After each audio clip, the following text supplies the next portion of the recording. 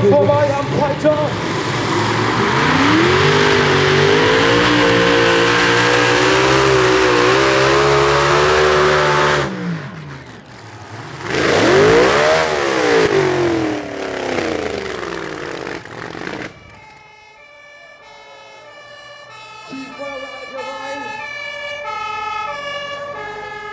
Es wird Wasser im Eingestadt.